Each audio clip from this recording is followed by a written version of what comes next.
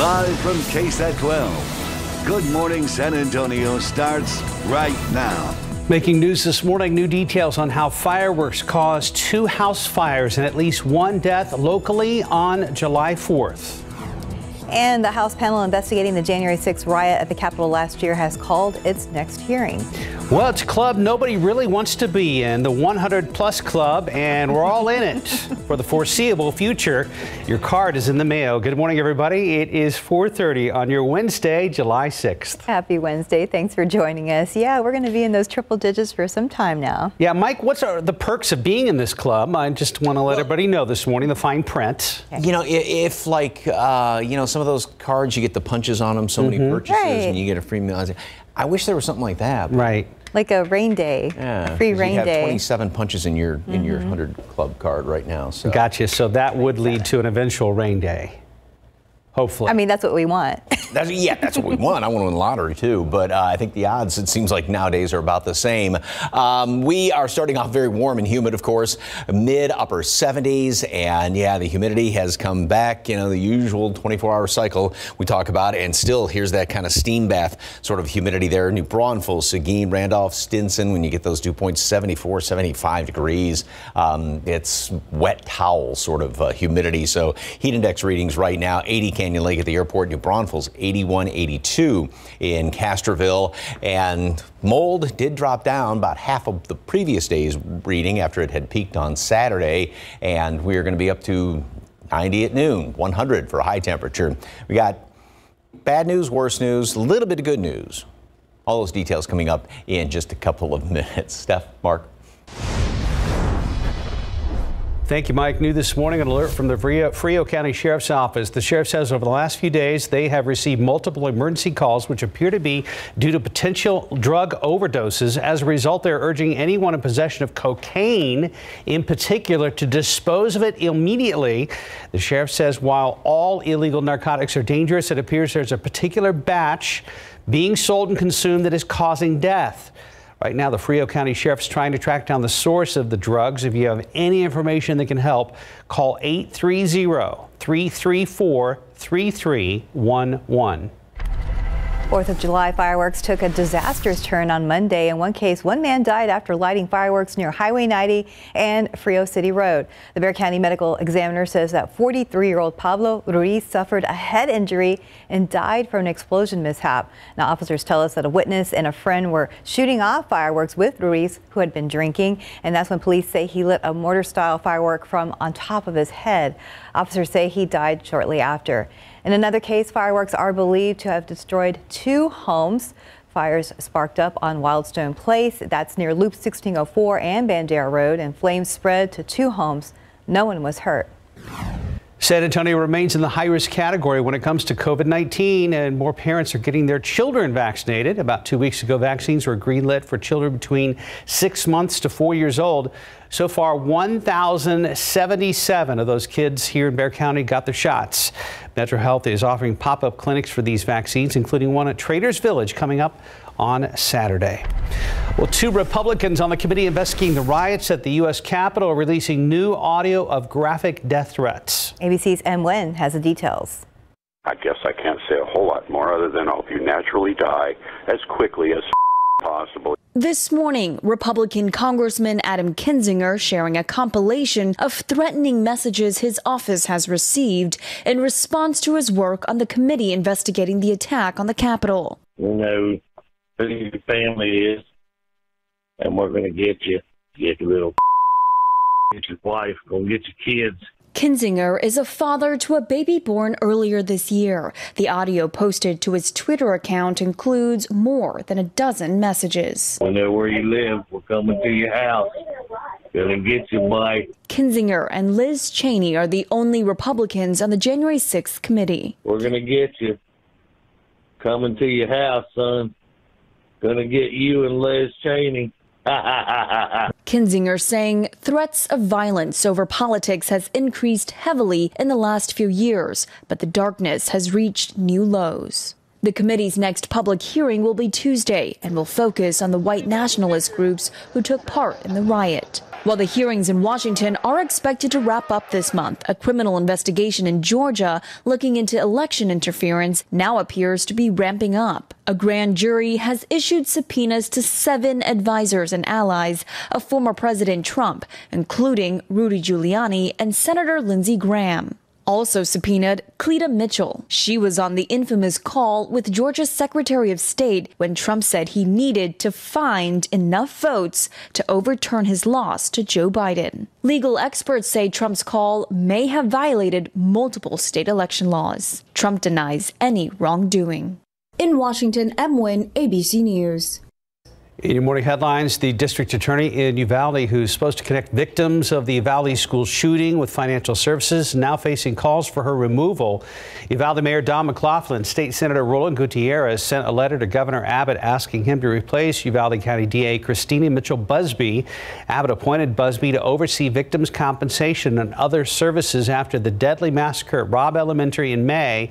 McLaughlin claims the DA has failed to deliver compensation resources to those in need in a timely manner. McLaughlin is asking the Texas Department of Emergency Management to take over the role.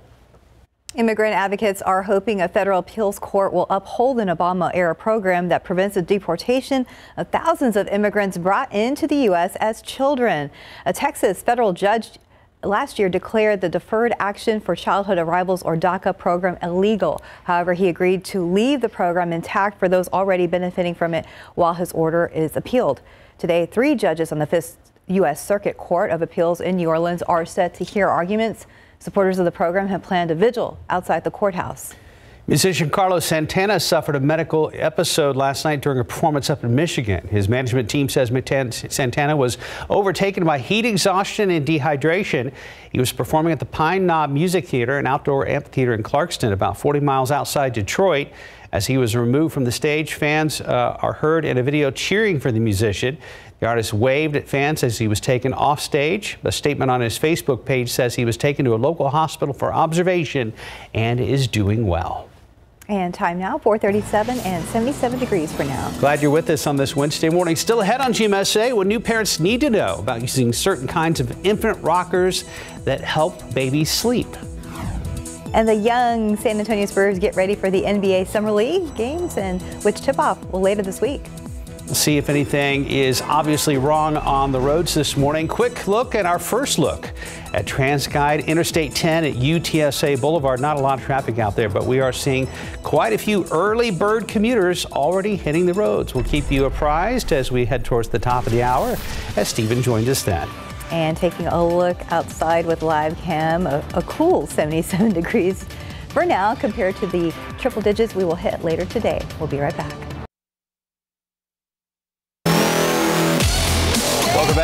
We're looking at morning sports after getting the holiday weekend off. The Spurs back at work, getting their young players ready for the NBA Summer League games, which tip off later this week.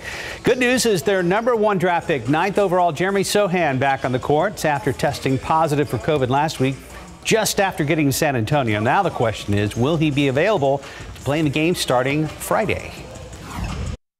Good to see him. He's doing well, able to uh, come to Vegas and be with the team and be a part of it. So excited for him. It a, it a quick departure after the introduction. I can't keep up with the return to out of health protocols, whatever that process is. I think he's in it still, whatever that is. He's obviously out of protocols, but there's obviously a ramp up and a cardiac and a clearance deal. I don't know where he is in that. But I guess uh, with everything you know about him, he'll he'll get up to speed pretty quickly. I yeah, I would think so. I mean, if anything, right, he'll be working with our people out there, whatever capacity ends up being. He plays 30 minutes. He's training with them, right? It could be anything. Before we were allowed into practice Tuesday, Spurs announced the signing of the first of three first round draft picks. He's Blake Wesley out of Notre Dame. The Spurs picked up with the number 25 pick overall.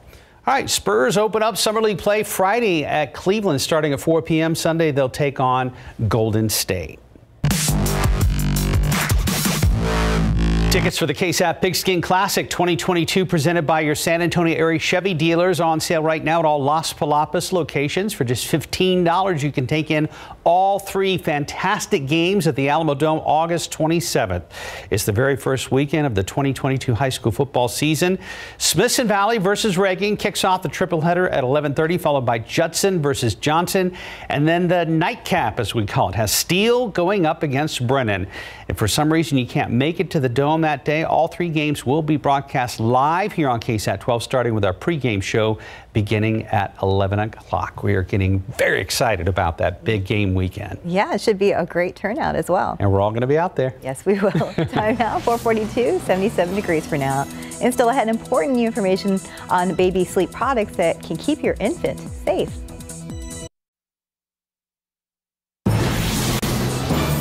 445, a life-saving change coming to some baby products, and it's something parents should know about. It involves products sold for sleep. 12 on sides, Marilyn Moritz explains some new guidelines what parents should do to be sure their babies are safe. Rocking the baby often helps get him to nod off to sleep, but as we've reported, the Consumer Product Safety Commission and two manufacturers warn don't use these rockers for infant sleep. At least 13 deaths are tied to this Fisher Price rocker, and one death tied to this Kids2 rocker. While companies say these rockers are not intended for sleep, we know that parents and caregivers sometimes use them for that purpose, and the same goes for other infant seats and swings. Similar to the inclined sleepers that Congress recently banned, it's the baby's reclined position that makes these products dangerous for any period of sleep. Products that place an infant in a reclined sleeping position increase the risk of suffocation, causing an infant's head to tilt forward and compress the airway. And that's what new regulations are meant to address. All infant sleep products manufactured must now meet minimum safety requirements that align with American Academy of Pediatrics guidelines. Babies should sleep alone on a flat surface. But Consumer Report says it's okay to let your baby sleep for short stretches in the car seat while driving. Car seat design allows for babies to safely be in a semi reclined position while also giving them the protection that they need in a crash when the car seat is installed properly in the vehicle. Be sure the child is securely harnessed. If your baby falls asleep in a car seat, rocker, bouncer, or swing, experts say move them to a safe sleep space as soon as possible. Marilyn Moritz, KSAT 12 News. Quick look at TransGuide right now. Things look great all around town right now. I'm seeing some slowdowns and problems on Rigsby over on the east side, but I don't know what's going on out there. We'll try to get some more information coming up. But right now, the main freeways look fantastic. There's I-10 at UTSA Boulevard. A few folks either heading home from work uh, from the overnight shift or getting a jump start on their Wednesday. Very true. And I like the shot behind you. Yeah. It's like this whole week we can celebrate the 4th of July. Every day celebrate our wonderful country. But yeah, a couple leftover pictures, and I just love that. I mean, there and even there's the glow of the uh, the sunset Mm-hmm. right there, and this is over Lake Travis in Austin. Great shot. Mike, did we hit solstice yet, or are we not quite there yet? Yeah, we had uh, that was back on the 21st. Okay, June. all right. So, yeah, I- so days are getting shorter. Slowly, Slowly. but Not surely. getting- not getting any cooler. I mean, and they're getting shorter by maybe a a minute or less than that per day, but they will continue to uh, to get shorter. We have got some clouds hanging around here as of right now. Uh, 27, just in case you're keeping track, 100 degree days. Thank you. Yeah, thank you, I guess, I think. I don't know. So uh, 78 right now, 75 Bulverde. Helotes at 76. And uh, yeah, it seems like these numbers overall, even in parts of the hill country, are up compared to this time yesterday. And we've got, uh, we may drop another degree or two. We'll keep some of these clouds around this morning.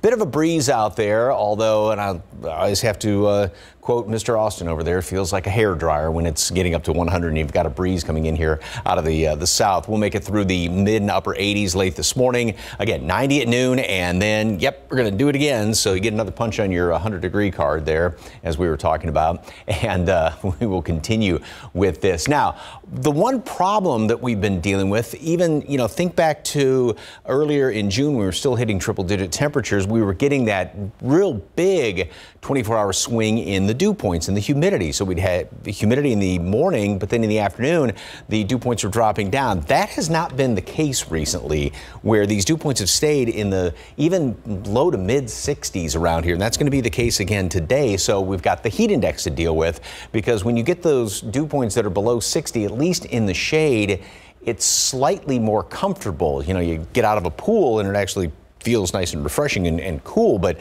when the humidity stays up, so that that's the problem we've been dealing with. However, in the next few days, the um, Humidity is going to be dropping down somewhat more in the afternoon, so that's one little bit of salvation, one little bit of good news we have with these blazing hot temperatures. But as of uh, today, we are still going to be seeing those heat index readings getting up into the uh, low hundreds, 109 in Cotulla. And again, that high is staying put, and that thing ain't going anywhere, pardon my grammar, over the next uh, couple of days. So the forecast today, we will be, again, 90 at noon. Some of those leftover morning clouds are going to be clearing out quickly by late morning, and then 100 for a high temperature later on today. Next seven days, by the way, the uh, Weather Service says it is uh, really looking closely at posting some or issuing some heat advisories as we head on into maybe Friday as well as the weekend with those temperatures that are going to be well up into the hundreds. And those are actual air temperatures. We're looking at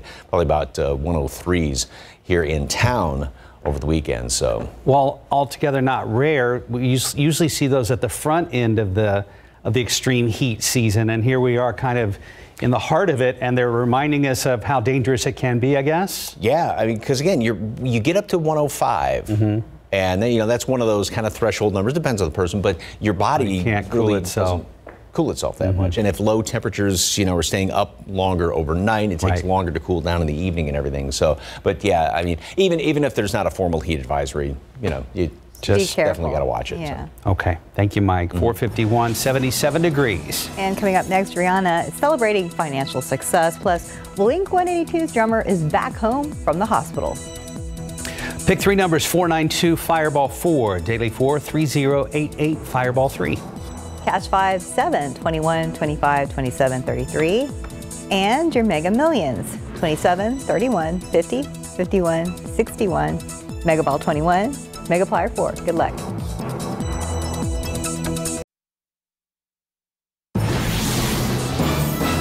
In this morning's GMA First Look, the family of Jayland Walker speaking out. Jada Walker talking to ABC News for the first time since the Akron, Ohio Police Department released body camera video showing eight of their officers shooting and killing her brother, 25 year old Jayland Walker. The Walker family says the Jayland police are describing isn't the Jayland they knew and loved. I don't want to see him in that light because I know who he is. I just can't see myself watching somebody be gunned down or even running from the police. I'm just really sad because, like I said, out of many black men who, who have been killed and many families who experience this, even as a sister, you know, it's just, excuse me, it's just, it's really hard. And coming up at 7 a.m., more of our exclusive interview with Jada Walker.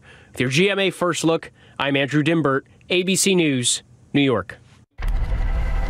A famous drummer is back home from the hospital, and Rihanna reaches a financial milestone. For the latest on what's happening in Hollywood, here's ABC's Chris Watson. It was a lot. It was a lot. Travis Barker is home after he was hospitalized last week with, quote, severe life threatening pancreatitis. The Blink 182 drummer's health issue began after a routine endoscopy last month. Hours after the procedure, Barker started feeling, quote, excruciating pain. Barker married Kourtney Kardashian in May. Rihanna is now the youngest self made female billionaire in America. The 34 year old mogul hit $1.4 billion in net worth, according to Forbes. Rihanna is the only woman younger than 40 to make it to the annual list of America's richest self made women. The musician and entrepreneur first became a billionaire last August, as well as the richest female musician in the world and the second richest female entertainer after Oprah Winfrey. Most of the singer's riches come not from her music, but from her brands Fenty Beauty, Fenty Skin, and Savage X Fenty. And celebrating birthdays today, actor comedian Kevin Hart turns 43, rapper and actor 50 Cent is 47, and Rocky and Rambo star Sylvester Stallone is 76. And that's what's happening in Hollywood. I'm Christopher Watson, ABC News. And time now 456 and 77 degrees for now. Still ahead on GMSA, the man suspected of carrying out the 4th of July massacre near Chicago has been charged with seven counts of first degree murder. And today he could be facing even more charges. Plus, rats are captured on video at a local Taco Cabana. We're going to tell you when that restaurant is expected to reopen. Well, that'll get your attention. And TransGuide right now, 10 at UTSA Boulevard. No problems there. Stephen is in studio. We'll talk to him coming up right here on Good Morning San Antonio. The Wednesday edition continues. Two hours of news, weather, and traffic coming up. Live from KSAT 12. Good Morning San Antonio starts right now. I'm ABC's M. Nguyen in Washington. We're learning more about the suspect in the Highland Park, Illinois mass shooting from July 4th. What police are saying about the disturbing warning signs leading up to that rampage. Coming up.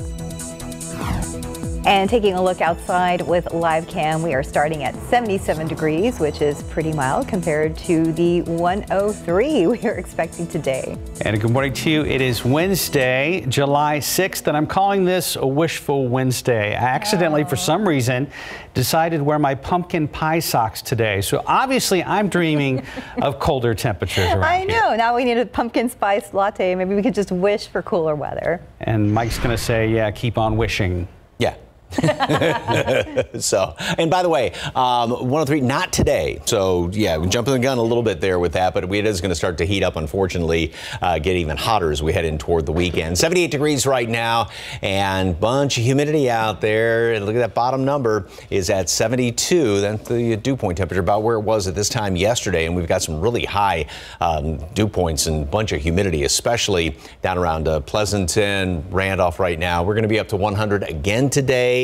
We did it again yesterday and just continue to chalk them up throughout the rest of the week. The aquifer, big hit, uh, down nine tenths of a foot. And as I always say, check with your local municipality as far as any sort of water restrictions or what water restrictions may be in place. Mold is on the moderate side. It did drop by, oh, roughly half of the previous day's reading.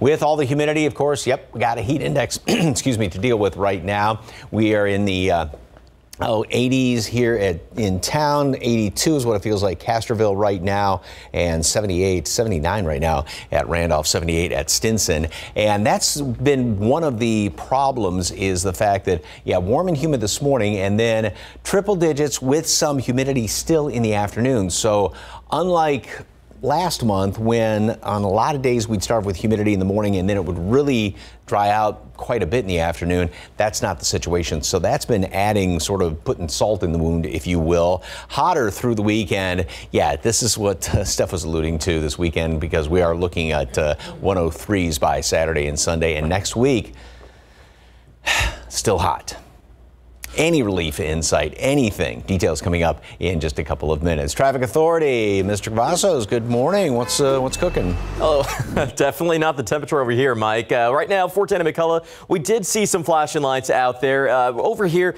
you also notice that we do have some barrels that are placed out there. That is because we have some TxDOT crews that are working on the pavement. Uh, that started overnight, and it should be continuing at least up until 7 this morning. We still see those cones out there, so make sure that you plan ahead. We could possibly expect to slow down a little bit later on as the morning does progress. But right now, it's not looking too bad. We're not seeing anything that's going to show a slowdown just yet. Earlier, there was a little bit of a slowdown off of uh, 410, not far from Rittiman, but we're not seeing that causing any issues for drivers at this point in time. But if you do have to head out the door and your destination is the Alamo City, let's check those travel times for you right now. If you are coming in from Boerne on I-10, the eastbound lanes, 25 minutes at this hour, and it's a 26 minute drive on 281 southbound heading in from Bulverde to downtown San Antonio and a 30 and 26 minutes on I-35 southbound heading in from New Braunfels. So no delays there, but back here on TransGuide, we'll continue to keep a close eye in this particular area and other construction spots. Again, make sure you have those phones handy for you coming up a little bit later on. Guys. Thank you, Stephen. Happening today, the man accused of driving the truck in the migrant tragedy is set to go before a federal judge here in San Antonio. All right, Jonathan Cotto joins us live with the details. And good morning, Jonathan. Do we know what to expect from today's hearing? Good morning, Stephanie. Well, during today's hearing, Homero Zamorano Jr. is expected to learn if he will be eligible for trial. Now, according to court documents, we know Zamorano spoke on a cell phone with 28-year-old Cristian Martinez about the alleged smuggling event. Now, two other suspects were also arrested, but only face federal weapons charges. Now, 53 migrants died when the hot trailer was found near Quintana and Cassin Drive. As of Monday, 35 of the 53 victims have been conclusively identified, and the remaining 18 victims have been potentially identified. The victims range in age from just 13 years old to 55. A memorial is being kept up for the victims. Now, we both uh, we know that both Martinez and Zamorano are in federal custody and have been faced, uh, have been charged with uh, crimes. Now, if found guilty, they could be facing the death penalty again if they are found guilty in a trial. This is a case that we're going to continue to follow closely and bring you the latest in our later newscast. Make sure to keep up with us at our website, ksat.com. Reporting live, Jonathan Cotto, KSAT 12 News. Thank you, Jonathan. The search for a missing man on Canyon Lake is over. A family member says Robert Berlingeri's body was recovered Tuesday afternoon, two days after he disappeared.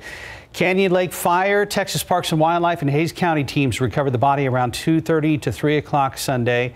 Berlingeri was holding his two-year-old toddler when their boat was hit by a wake, knocking Berlingeri and his daughter into the water. The daughter's mom jumped in. Together, the parents were able to keep the child above water. Other boaters were able to save the mom and daughter. When they tried to get to the man, he had gone under. I've grown up on the lake. I know what lake life is. You have frequent accidents that happen. Uh, ultimately, the guy's a hero. It's just tragedy for the family. Yeah. The boater says the tragedy on the lake is a grim reminder that people need to be careful. Berlingeri's drowning is the third at Canyon Lake this year. The San Antonio Fire Department's ambulance bus, or AMBUS, has been used in two recent tragedies, one on Quintana Road and the other Robb Elementary in Uvalde. It is one of 16 AMBUSes positioned across the state through the Texas Emergency Medical Task Force. Primarily, it is used for hurricane evacuations of hospitals and on-scene rehab for fire crews and mobile ICUs to treat injured people. A spokesperson for the department says it's also part of their mass casualty response. In the case of the people found dead in the back of an 18-wheeler and the Uvalde shooting, it was used as a mobile morgue to transport bodies to the medical examiner's office. It's frustrating to know that we weren't able to do more, but at the same time knowing that they can be moved in a dignified manner. We could give them the respect they deserve. There are two other ambuses in our area, one in New Braunfels and the other in Schertz. Each one can carry 24 seated patients or 20 patients in beds. As far as staffing, there's always a driver and at least four medics on board.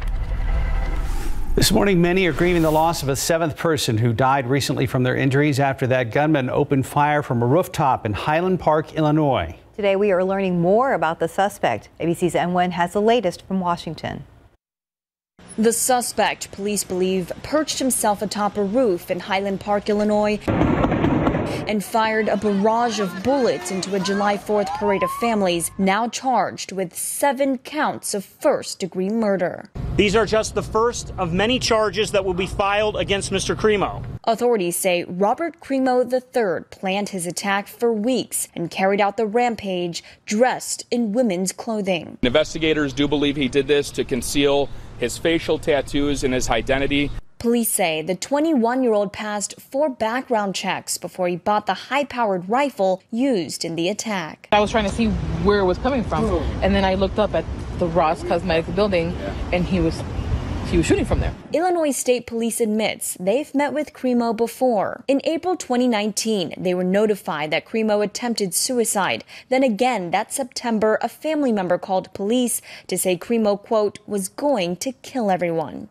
Police confiscated a dozen knives, but no other actions were taken. Everytown for Gun Safety suggesting Illinois' red flag law could have prevented the mass shooting, saying it looks like the shooter exhibited some dangerous warning signs, but tools are only useful when they are taken out of the toolbox. Vice President Kamala Harris, not far from Highland Park, renewing calls for an assault weapons ban.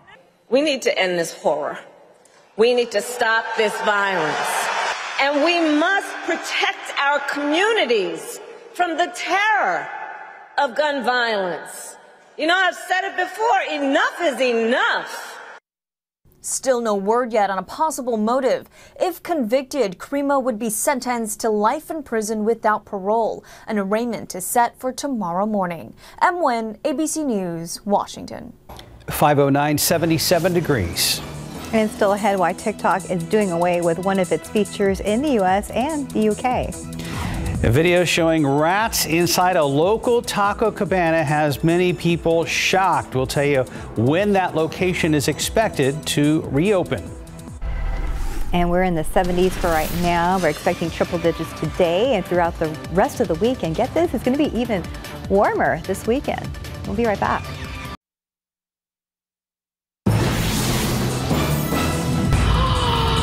Oh my God, I'm going to die. Are you seeing this? It's not what you want to see when you pull up to any restaurant. A woman recorded at least four rats running around this taco cabana in Leon Valley. This is off of 410 and Bandera Road. Rita Longoria was hoping to pick up food early Sunday morning. Instead of employees, she saw rats moving around the kitchen. The TikTok video she posted now has nearly 70,000 views. Our crew went by the restaurant yesterday. It was closed. Sign on the door apologizes for the inconvenience.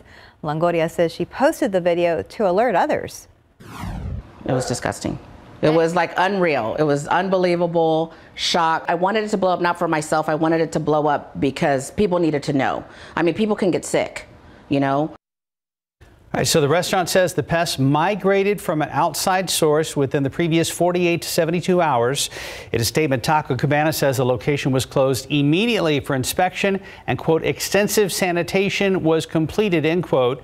This Taco Cabana location in Leon Valley will reopen to customers today. Time now, 514 and 77 degrees for now. Up next, details on how a hacker reportedly stole the personal data of 1 billion Chinese citizens. Also next, Stranger Things 4 reaches another big record on Netflix. My A1C stayed here. It needed to be here. Ruby's A1C is down with Rybelsus. My A1C wasn't at goal. Now I'm down with Rybelsus. Mom's A1C is down with Rybelsus. In a clinical study, once daily Rybelsus significantly lowered A1C better than a leading branded pill.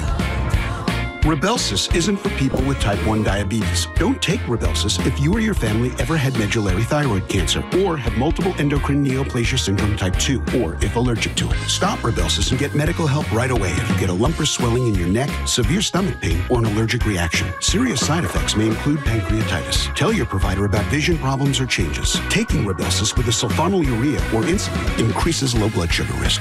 Side effects like nausea, vomiting, and diarrhea may lead to dehydration, which may worsen kidney problems.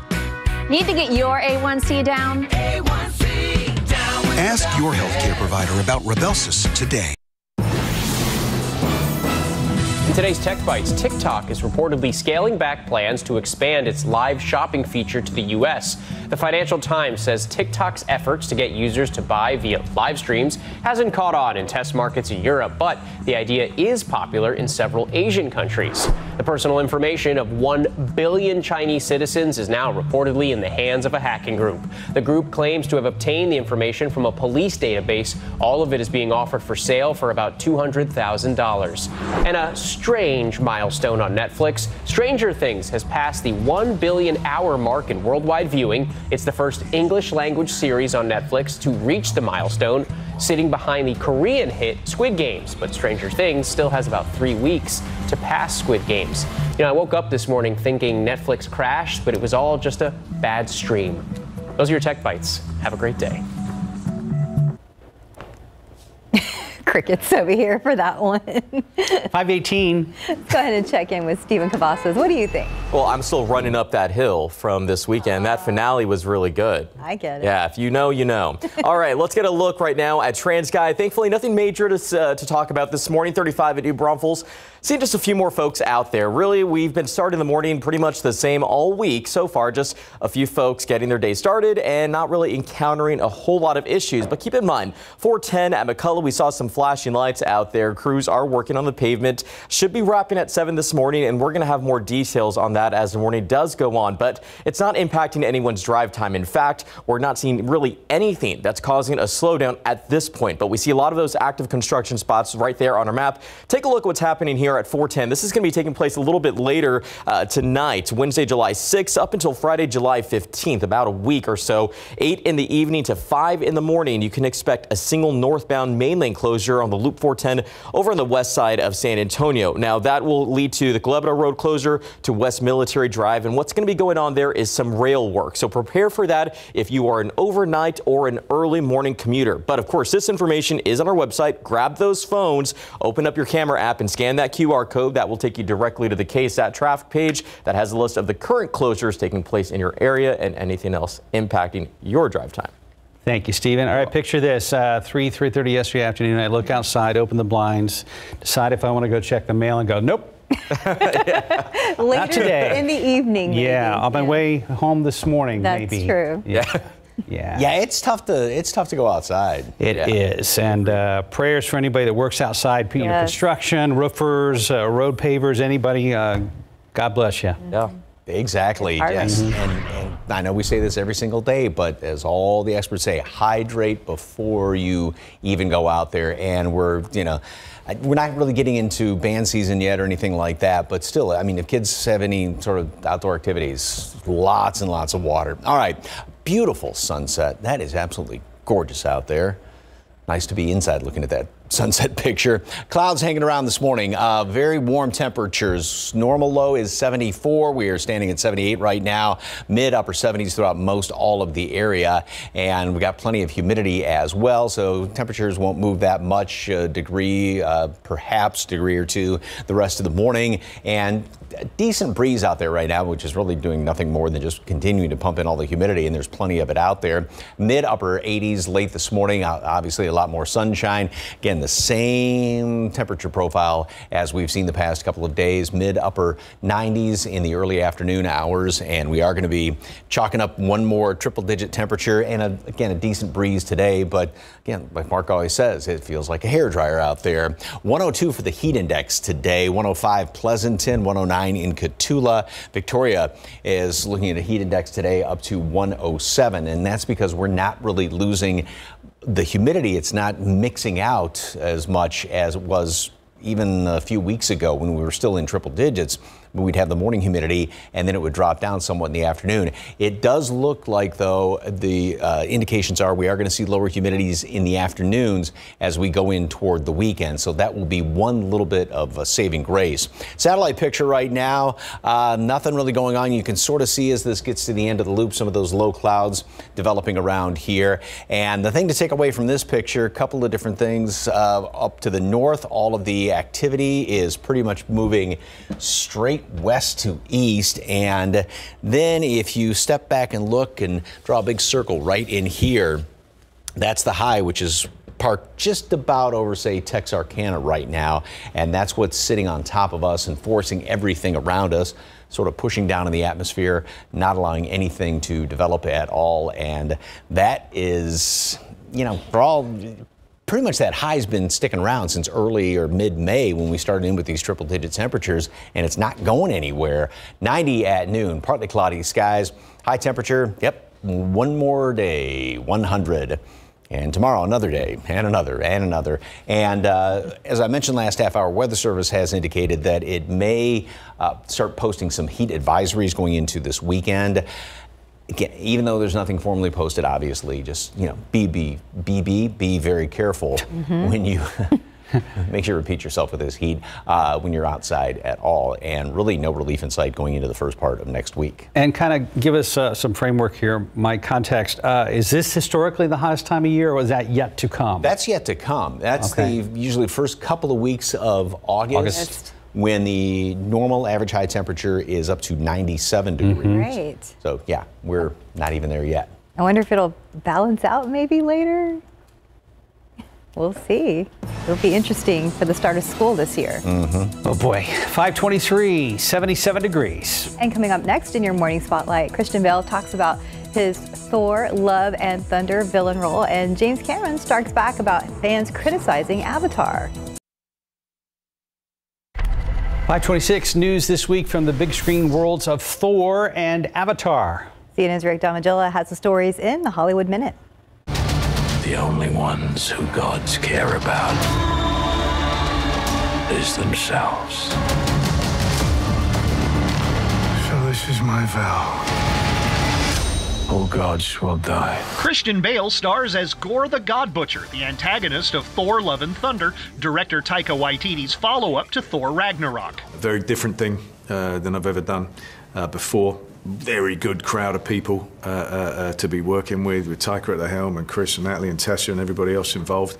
Uh, really something else. And, you know, his name is self explanatory Gorr the God Butcher, but also Taika added an element uh, to it that people, uh, audiences might be surprised by. Thor Love and Thunder strikes theaters Friday. Well, I just I just love this story. It's James Cameron can add Troll Fighter to his list of accomplishments. In an expletive-laden interview with Empire Online about the upcoming Avatar: The Way of Water, Cameron says he isn't worried about online trolls criticizing the original Avatar. Ranked as the highest-grossing movie worldwide with 2.8 billion dollars, Avatar will see a re-release in September, followed by The Way of Water in December. In Hollywood, I'm Rick Damigella. And real quick side note, I was telling Steph there's early Oscar buzz for Christian Bale in Thor, God, and was it called? Oh, I know. Love, Love and Thunder? Yeah. Yeah, Love and yeah, Thunder. Love and Thunder. It's yeah, an interesting so title. we'll have to check it out. 528, 77 degrees. And still ahead on GMSA, how the U.S. plans to snub Russia at this week's G20 meeting. Plus, if you're headed to the movies, why Tuesdays may be the day. We'll tell you about some new discounts courtesy of AMC theaters. And summertime is here, and with it comes backyard barbecue get together. So ahead on GMSA at 6, we're going to have some pro tips for making your home party ready. Making headlines this morning, the U.S. set to further criticize Russia at this week's G20 summit.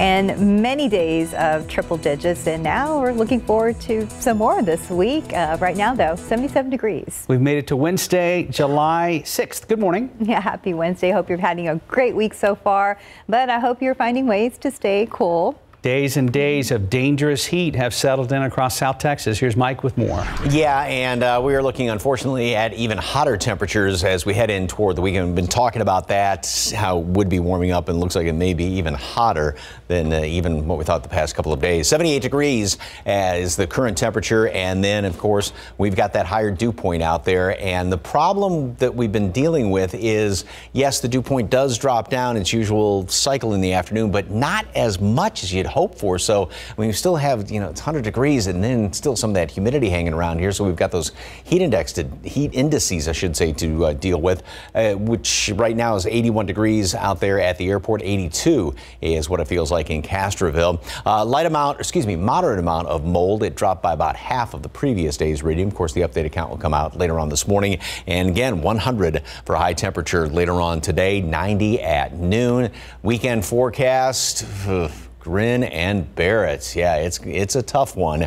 We'll talk about that and see if there's any changes down the road. Details in just a couple of minutes. Traffic Authority, what's going on, Stephen? It's been pretty quiet over here, Mike. Thankfully, not a lot to talk about. US 90 at 36. The morning is off and people are moving and not really encountering any trouble on the road. 281 at Grayson, just be careful for that curve there. You always want to make sure you follow the speed limit. But other than that, we've really not seen a whole lot out there this morning. Earlier, we told you about some work being done off of 410 at McCullough. Looks like that work actually got cleared up sooner rather than later, which is good news, especially as we're inching closer minute by minute to 6 a.m. But always be prepared. I-10 at UTSA Boulevard looks like the commute is picking up. All right, showing you the map, really just a lot of those active construction spots. And as the morning progresses, we'll continue to give you you those updates. But right now, nothing is going to slow you down just yet. Perfect time to head out the door and maybe get those errands done, beat the heat and beat the traffic. Let's take a look at these travel times for you right now. 28 minutes on I-10 westbound. Still pretty green from Seguin. Uh, and right now we are looking at a 33 minute drive time on 87 northbound if you're heading up from La Vernia. And right now 28 minutes for our friends down in Floresville to the Alamo City. So no delays here just yet, but make sure to drive safe. 1604 at Spurs Ranch, uh, pretty quiet there. We'll continue to give you those updates right here on GMSA. Guys. Thank you, Stephen. Now to late breaking news. Firefighters in West Bexar County are battling a house fire. It's happening in a neighborhood near Loop 1604 in Potranco on a street called Stable Glen Drive. Katrina Weber is there with a live report. And Katrina, what have you found out so far? Well, good morning. We're still waiting to get an official word from firefighters here. They're in the middle of things here, in the thick of it. But we could see that at least one house is on fire. You could see flames coming from the top, the roof of that one house. Now, we have heard talk that firefighters were concerned about those other homes next to it, and that is what they're trying to do stop those flames from spreading. Out here on the street, uh, uh, there are several nervous people standing by, people who live in that home that's on fire, as well as the ones on either side of it. They're all just sort of uh, bringing their hands, hoping that firefighters can minimize the damage here from this fire. Uh, we heard this fire break out probably about a half hour ago. Bexar County, uh, several districts are here trying to put this out. This is a very large house that is on fire here in the 900 block of Stable Glen. And uh, this fire actually is, seems to be growing. It has grown in the time that we've been here. Flames just shooting out of the roof right now, as you can see. And they're doing doing their best uh, with that ladder truck and the firefighters on the ground, just trying to keep this thing from getting out of control. Uh, we, we, do have several houses, as you can see, that are very close by. So uh, right now, it is just touch and go as firefighters try to bring this under control. Reporting live in West Bexar County, Katrina Weber, KSAT 12 News. Right, more to come from Katrina there at that scene. We'll continue to monitor it in West Bexar County. This morning, more fallout after the mass shooting in Uvalde. State Senator Roland Gutierrez and Uvalde's mayor says the victims are not getting the compensation in a timely manner. This is from the Uvalde Together Resiliency Center. All right, Jonathan Cotto joins us live with the details. Good morning, Jonathan. Good morning, Stephanie. Yes, in a letter, Gutierrez says Governor Greg Abbott's appointed Uvalde District Attorney Christina Mitchell Busbee to oversee the funds for victims and additional services. He even says a family nearly had their power cut off due to delays in payment. In other cases, Gutierrez says the money is insufficient. We spoke, uh, we heard from him. Uh, take a listen. Our constituents need to have the resources that they need in place, and they need them now. And so what we've asked is to, if we're asked the governor to bring one of his own, one of the other agencies that he's in charge of, the Texas Department of Emergency Management. Now, Gutierrez wants the Texas Department of Emergency Management to be placed in charge of the services and funding. Both he and Uvalde Mayor are calling on the governor to make this happen. Reporting live, Jonathan Cotto, KSAT 12 News. Thank you, Jonathan. The U.S. plans to snub Russia at an international meeting this week. It's the latest spat amid tensions between the two superpowers. CNN's Amy Kiley also reports on the worry that Olympian Brittney Griner, who's on trial in Russia, is caught in the middle. The U.S. Secretary of State won't be scrambling into place for this week's G20 photo. Yes, Antony Blinken is heading to Indonesia today for the foreign ministers' meeting. But U.S. and European officials say he likely won't go anywhere. He might run into his Russian counterpart. That means no photo ops and absolutely no peace talks. No conversation about Ukraine without Ukraine. It's the latest tit for tat amid U.S. Russian tensions. Supporters of WNBA star Brittney Griner say they're worried she's caught in the middle. She's on trial in Russia on drug charges, but the U.S. says she is wrongfully detained. It is in the Russians' interest to have this be as high profile as, as possible because they can drive a harder bargain when they want to try to get a hostage released. Critics say the U.S. should do more to help her. Let's pretend like it's Tom Brady. Will we have to sign a petition then? The State Department says it would give the same assistance to any American in her situation. We are doing everything we can. But not everyone buys that. It's a statement about the value of women. It's a statement about the value of a black person. It's a statement about the value of a gay person. The White House says President Joe Biden has read a handwritten letter from Griner. In it, she says she's afraid of being stuck in a Russian cell indefinitely. These places are nothing short of horrible. I'm Amy Kiley reporting. And the FDA has issued a stay of an order requiring Juul Labs to pull its products off the market in the U.S. The move is temporary. The agency said in a statement it decided, quote, there are scientific issues unique to the Juul application that warrant additional review. The FDA's June 23rd denial order for Juul came amid issues with its study data and concerns its products were encouraging dangerous habits among young people. Juul Labs disagreed, and Joel products can remain for a sale while a federal court reviews the FDA order and Juul's arguments.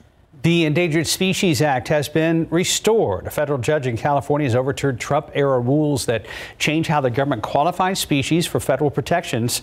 The 2019 policies were seen as a way to make it easier for fossil, fossil fuel companies to drill or mine. Biden administration announced last year it would be reviewing those actions, but some conservation groups were frustrated by the government's slow pace. They, along with the state of California, sued to roll back the changes. A judge sided with them, saying there's no evidence the Biden administration wanted to keep the Trump era policies in place. Time now 539 and 77 degrees for now. Still ahead if you're staying at a hotel during your summer vacation, why you may need to pack your patience as well when it comes to hotel staffing.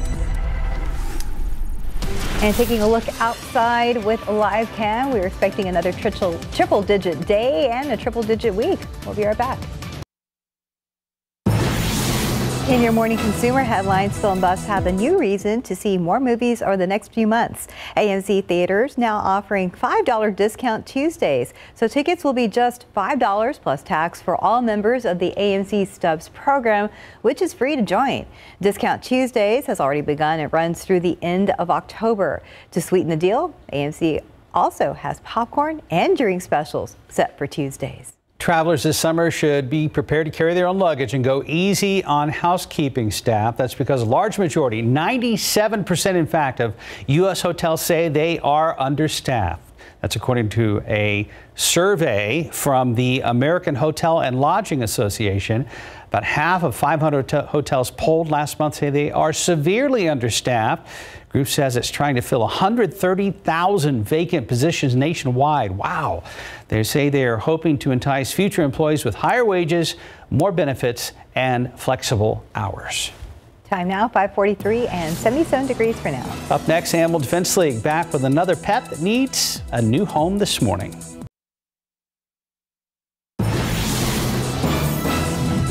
Well, Julie is here from the Animal Defense League, and oh my goodness, I don't think there's anything prettier than a black cat with green eyes. I know. Just, can you look at the camera, please? look, look. Look, look there, right there, right pretty there, girl. Yes, who's this Oh, baby? Okay, so this is Snail. Mhm. Um, Snail is only two months old. She's one of our foster kittens, and she is just so well adjusted and loving.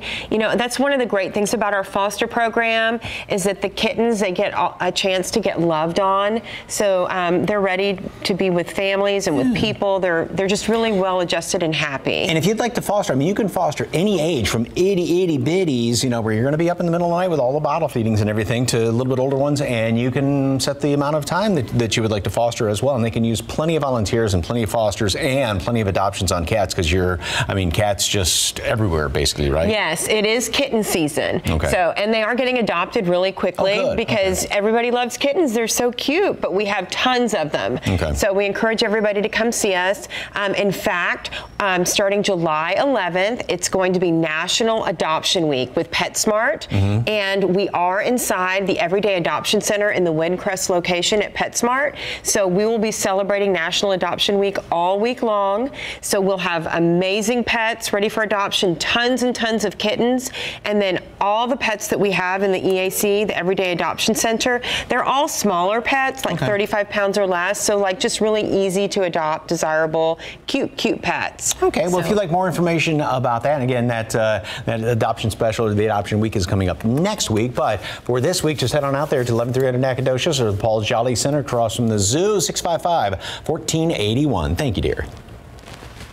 548. Go ahead and check back with Stephen Cavazos. It looks like it's getting just a tad bit busier. I'm looking at a few of these shots at TransGuide 35 at New Braunfels. Check it out. We have a few more folks that are getting their morning started early with us, maybe grabbing that cup of coffee, a matcha latte, who knows. But right now, it looks like we are getting a few more folks there at 37 at Pecan Valley as well. But always be prepared. Uh, thankfully, nothing major is going to slow you down. We haven't really detected any slowdown, just a few more vehicles. So you can see it right there on the map lots of active construction. And we know as the morning does progress and we see more people, that will likely impact the commute and slow a few folks down. So be prepared, especially over here off of I-10 in Kendall County. We mentioned this the other day, and anytime you drive up on I-10, perhaps in the west or eastbound lanes, you notice that there is a lot of work being done on the US 87 bridge there.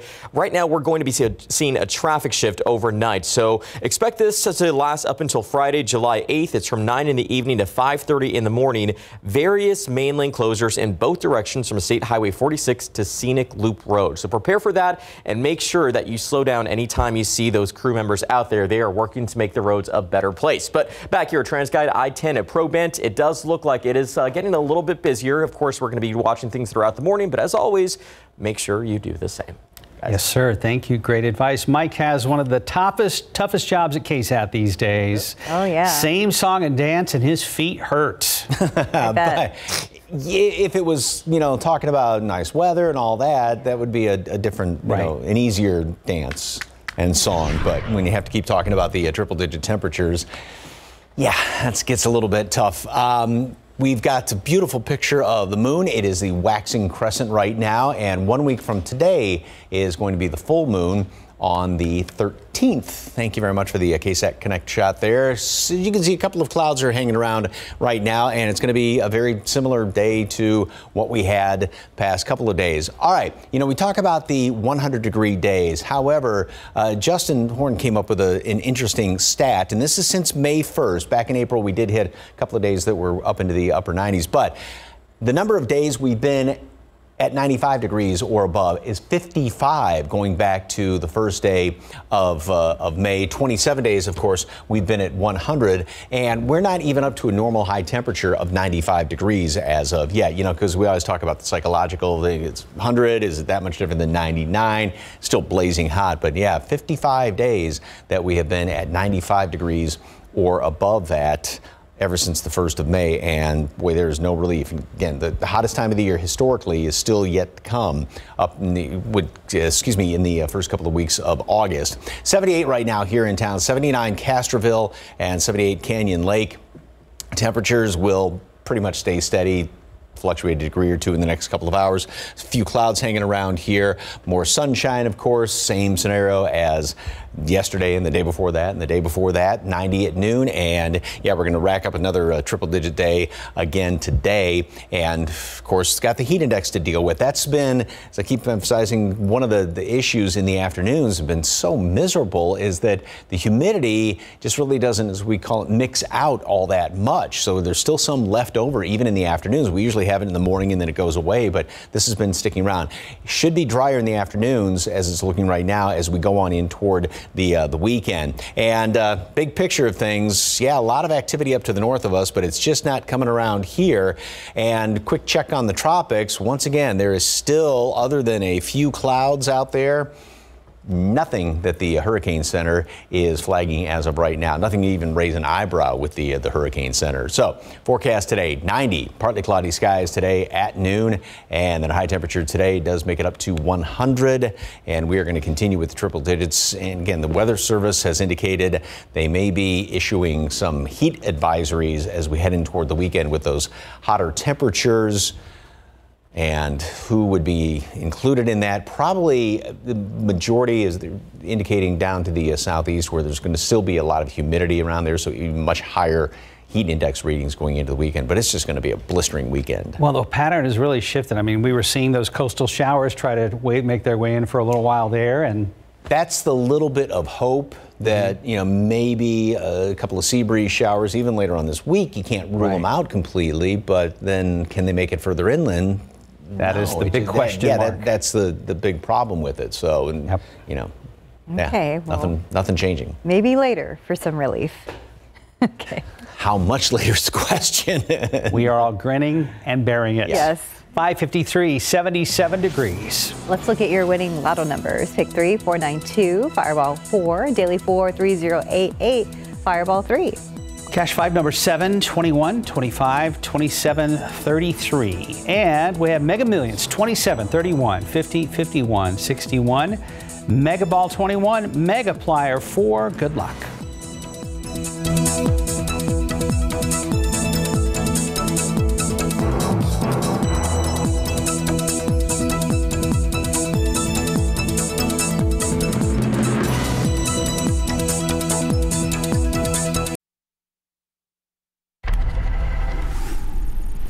Check out this race to see who makes the cut. Literally, this race where different types of lawnmowers are used and all types of blades are used. Racers competed for the World Championship title over in England. The engines were all the same in this grassroots motorsport. Get it, grassroots. The lawnmower races happen the same weekend as the Formula One British Grand Prix. Have you met Austin Andrade? The San Antonio native calculates taxes by day and pumps iron by night, just in case you missed it. Uh, you can now watch this man trying to crush the competition. Hosted by the world's strongest man, Andrade did a 100, rather 820 pound deadlift, and farmers carry 420 pounds in each hand. That was good enough to place him at the top of the list among other strong men around the world. Read more online at ksat.com. More to come on GMSA at 6, including the big mix-up at Smithson Valley High School after the wrong student crowned valedictorian. We have the details. We'll tell you about a big surprise for one of the survivors of the Robb Elementary School shooting. And Stephen is tracking traffic out there. C35 at New Braunfels Avenue right now, uh, heavier traffic. It looks like we've got a vehicle with this hazard lights 37 at Fair Avenue. And we'll check in with Mike's forecast. We know it's going to be hot. How hot? Wait you see the weekend forecast. It is draining. That is for sure. We'll be right back.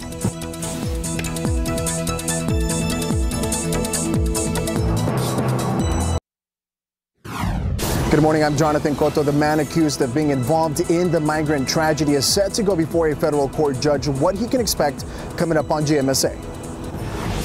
A hacker allegedly steals the personal data from 1 billion Chinese citizens. We're going to have those details.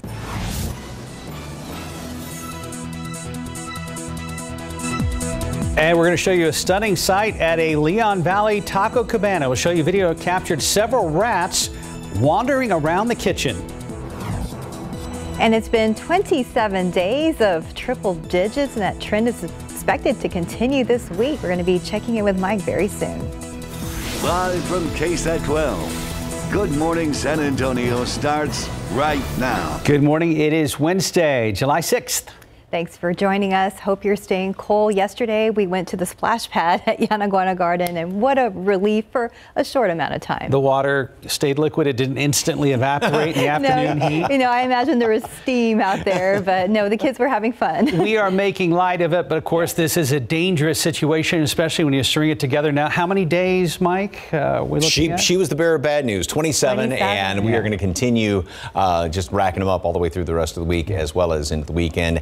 And I've been uh, talking about this morning already. The Weather Service has indicated that going in toward the weekend, they're probably going to be issuing some heat advisories. I mean, even if there's nothing formally posted where you are, you just have to, to really take it easy. And, you know, being a splash pad or a pool or something like that, the one the one issue we've been dealing with is still some leftover humidity in the afternoon, so it's not, uh, it doesn't really it does cool you down somewhat, but if we had drier air, you'd be in that splash pad or hop out of the pool and you'd actually be chilly because the water would evaporate so quickly and easily from your body. But that's not the situation since we do have that humidity left over in the afternoon.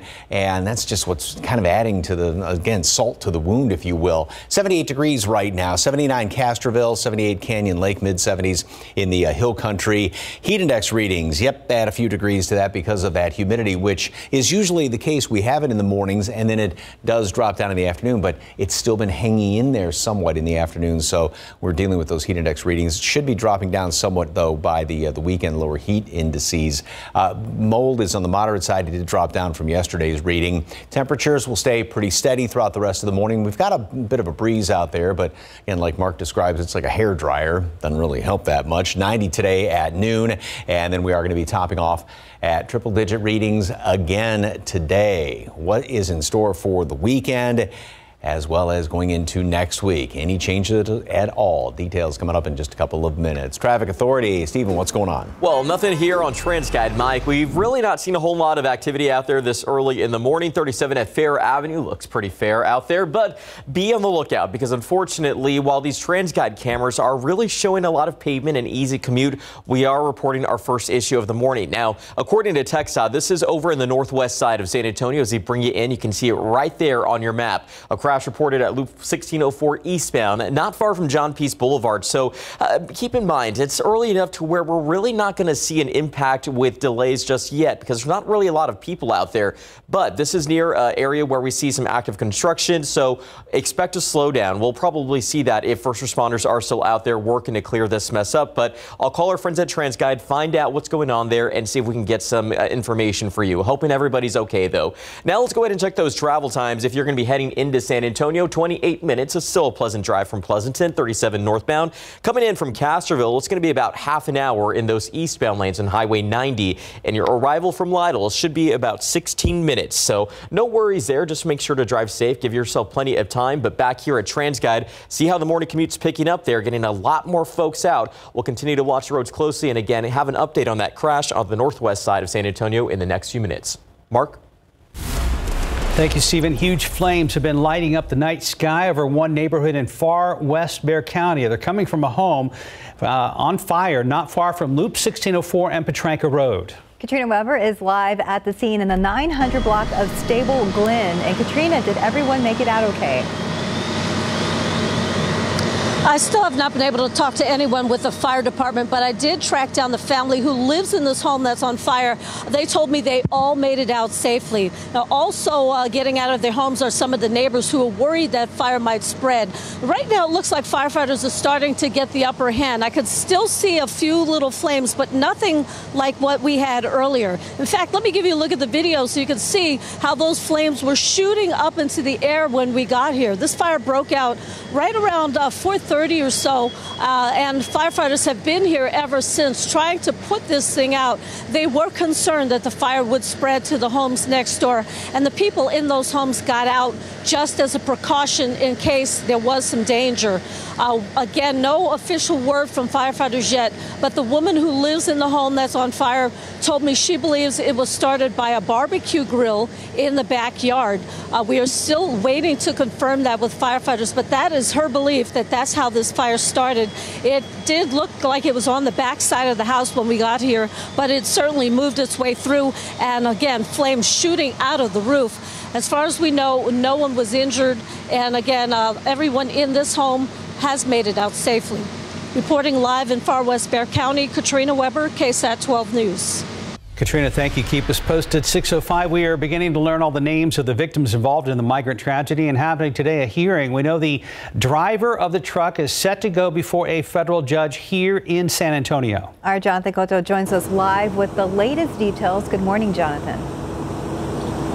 Good morning, Stephanie. Well, uh, in today's hearing, Homero Zamorano Jr. is expected to learn if he will be eligible for bail. But according to do, uh, court documents, Zamorano spoke on a cell phone with 28-year-old Cristian Martinez about the alleged smuggling event. Now, 53 migrants uh, died when the hot trailer was found near Quintana and Cassin Drive. Two other suspects were also arrested, but only face federal weapons charges now as of Monday. 35 of the 53 victims have been conclusively identified and the remaining 18 victims have been potentially identified. The victims range in age from just 13 years old to 55. A memorial is being kept up for the victims. Now, this is a case that we're going to continue to follow closely. Of course, you can keep up with us in our later newscasts and online at our website, ksat.com for the latest details. Reporting live, Jonathan Cotto, KSAT 12 News.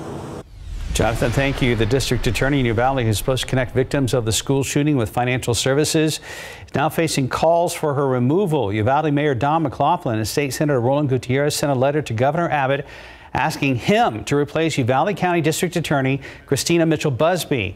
Abbott appointed Busbee to oversee the victims' compensation and other services after the deadly massacre at Robb Elementary back in May. McLaughlin calls, claims the DA has failed to deliver compensation resources in a timely manner. Mayor McLaughlin is asking the Texas Department of Emergency Management to take over that role. San Antonio remains in the high risk category when it comes to COVID 19, and more parents are getting their children vaccinated. Now, about two weeks ago, vaccines were green lit for children between six months old to four years old. And so far, 1,077 of those kids in Bexar County got their shot. Metro Health is offering pop up clinics for these vaccines, including one at Traders Village on Saturday. U.S. plans to snub Russia at a big international meeting this week, according to an official. It's the latest spat amid tensions between the two countries. And supporters of WNBA star Brittney Griner say they're worried she is caught in the middle. Right now, she's on trial in Russia on drug charges, but the U.S. says she's wrongfully detained. The White House says President Biden has read a handwritten letter from Griner. In it, she says she's afraid of being stuck at a Russian jail indefinitely. Critics say the U.S. should be doing more to help her. On Tuesday, one of two Republicans on the January 6th committee, Representative Adam Kinzinger, releasing audio of graphic death threats called into his office. ABC's M. Nguyen has the details. I guess I can't say a whole lot more other than I hope you naturally die as quickly as possible. This morning, Republican Congressman Adam Kinzinger sharing a compilation of threatening messages his office has received in response to his work on the committee investigating the attack on the Capitol. We know who your family is, and we're going to get you. Get your little get your wife, go get your kids. Kinzinger is a father to a baby born earlier this year. The audio posted to his Twitter account includes more than a dozen messages. We know where you live. We're coming to your house.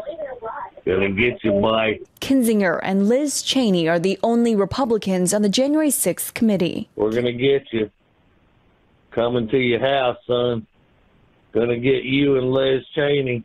Kinzinger saying threats of violence over politics has increased heavily in the last few years, but the darkness has reached new lows. The committee's next public hearing will be Tuesday and will focus on the white nationalist groups who took part in the riot. While the hearings in Washington are expected to wrap up this month, a criminal investigation in Georgia looking into election interference now appears to be ramping up. A grand jury has issued subpoenas to seven advisors and allies of former President Trump, including Rudy Giuliani and Senator Lindsey Graham also subpoenaed Cleta Mitchell. She was on the infamous call with Georgia's Secretary of State when Trump said he needed to find enough votes to overturn his loss to Joe Biden. Legal experts say Trump's call may have violated multiple state election laws. Trump denies any wrongdoing. In Washington, M. Nguyen, ABC News. And back here at home, a stunning sight at the northwest side Taco Cabana. Now, we want to let you know the video you're about to see may make some viewers uncomfortable. oh my God, I'm going to die. And it is not what you want to see when you pull up to any restaurant. A woman recorded at least four rats running around at this Taco Cabana in Leon Valley. This is off of Loop 410 and Bandera Road. Rita Longoria was hoping to pick up food early Sunday morning and instead of employees, she saw rats roaming around the kitchen. The TikTok video she posted now has nearly 70,000 views. Our crew went by the restaurant yesterday. It was closed. A sign on the door apologizes for the inconvenience. Longoria says she posted the video to alert others. It was disgusting. It was like unreal. It was unbelievable, shock. I wanted it to blow up not for myself. I wanted it to blow up because people needed to know. I mean, people can get sick, you know? The restaurant says the pests migrated from an outside source within the previous 48 to 72 hours. In a statement, Taco Cabana says the location was closed immediately for inspection and, quote, extensive sanitation was completed, end quote. Taco Cabana location will reopen to customers today. 612, 77 degrees. And are you all caught up on Stranger Things? The hit Netflix series has just passed a huge milestone. We're going to have those details coming up a little later. Plus, is your backyard equipped for summertime barbecues? Coming up a little bit later on, we'll show you some easy ways to get your home ready for company. And just ahead, how local first responders are equipped to handle emergency situations. We're going to tell you about one of the tools that plays a big part in mass casualty events. Outside with live cam right now on your early Wednesday morning as the sun comes up and just scorches us later on today. Mike says it's going to be even hotter this weekend. We'll take a look at your extended forecast coming up. And welcome back. It is 616. San Antonio Fire Department's ambulance bus, or AMBUS, has been used in two recent tragedies, one on Quintana Road and the other, Robb Elementary in Uvalde. It's one of 16 AMBUSs positioned across the state through the Texas Emergency Medical Task Force, primarily used for hurricane evacuations of hospitals, on-scene rehab for fire crews, and mobile uh, care for to treat injured people. Joe Arrington, a spokesperson for the department, says it's also part of their mass casualty response. In the case of people found dead in the back of an 18 wheeler and in the Uvalde shooting, it was used as a mobile morgue to transport bodies to the medical examiner's office. It's frustrating to know that we weren't able to do more, but at the same time, knowing that they can be moved in a dignified manner, we can give them the respect they deserve. Now, there are two other AMBUSs in our area, one in New Braunfels, the other is up in Schertz. Each AMBUS can carry 24 seated patients or 20 patients in beds. As far as staffing the AMBUS, there's always a driver and at least four medics on board. For more details, check out our story on ksat.com. For now, let's go ahead and check back with Stephen Cavazos. Well, remember that crash we told you about here at 1604 at John Peace? Looks like it's cleared out. And let's go ahead and get a closer look from TransGuide. Earlier, before we even brought this shot up, there were some flashing lights out there that were indicating first responders were out there working to clear this mess up. But looks like they worked uh, just in time. And also, you can make out that there's a lot of that equipment that we mentioned also a little bit earlier. Uh, pretty busy spots throughout the morning. And as we see for people getting out there, just remember to take it easy. Thankfully, our first responders were able to clear that pretty quickly. It was there in the eastbound lanes of Loop 1604, not far from John Peace Boulevard and not too far from Six Flags. So that's some good news and big shout out again to those first responders. Quick wide look at the map doesn't really show a whole lot else, thankfully, but also those active construction spots. Here's another one, 35 on the northeast side of San Antonio. This one, barrier installation, will actually take place tomorrow night, Thursday, July 7th, and it's going to last a full week up until Thursday, July 14th. It will start at 9 in the evening and wrap up around 5 in the morning. So overnight, early morning commuters, make sure you start thinking ahead. The right southbound main lane and left frontage road lane closures will be in place between Pat Booker Road and Farrell Road. Of course, this information is posted on our website. Grab those phones, open up your camera app and scan this QR code. It takes you directly to the KSAT traffic page that has a list of the current closures taking place throughout the month of July and of course anything else that could be impacting your drive time. Just don't forget, scroll to the bottom of the screen. Yes, sir. Thank you, Stephen. Thank you. And I guess now is the time to do things outside. Maybe Yeah. people Yeah. who didn't check their mail yesterday afternoon can check it in the morning now. Exactly, but don't put off getting the bills if you get them in the mail. Uh-huh. Very true. I understand. But um, yeah, because temperatures now we do have a lot of humidity to deal with as of right now, but it's just not that that searing, almost kind of uh, overwhelming kind of heat that we've been seeing in the afternoons. 78 degrees out there at the airport and 75 up the road, Kerrville.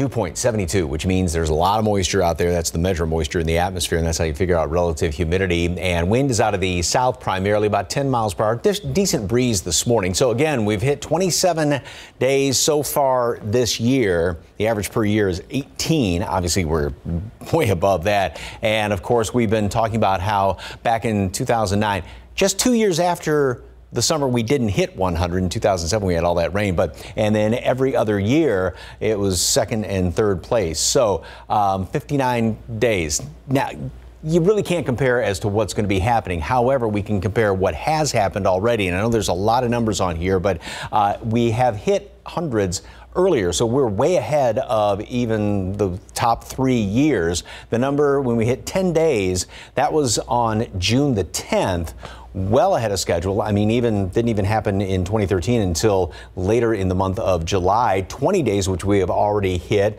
which is way faster than what we those three top three years. And the forecast shows that we are going to be hitting 30 days coming up here this Friday. That, of course, is also way ahead of those three top years. So if the trend continues, we are going to be breaking the record in 20 uh, in 2009, and those years also not only uh, was July hot, but most of those years it was August that it seemed like it was almost every day that we were in triple digit readings.